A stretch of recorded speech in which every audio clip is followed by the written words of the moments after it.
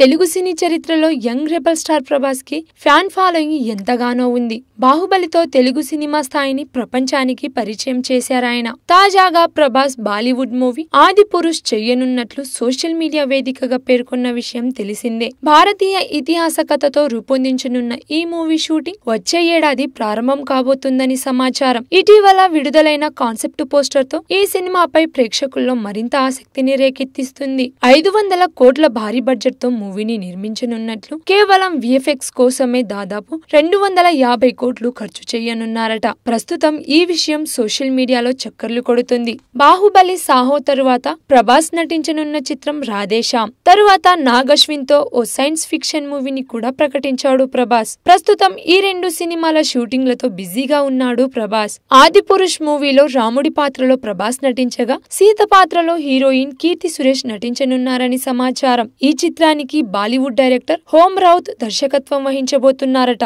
ఈ చిత్రానికి సంబంధించి మరిన్ని వివరాలను త్వరలోనే చిత్ర బృందం వెల్లడించనున్నట్లు సమాచారం అయితే ఈ లెక్కన వచ్చే ఏడాది ప్రభాస్ మూడు సినిమాలు రిలీజ్ కానున్నాయి దీంతో ఆది పురుష్ మరో రెండు మూవీల కోసం ప్రేక్షకులు ఆసక్తిగా ఎదురుచూస్తున్నారు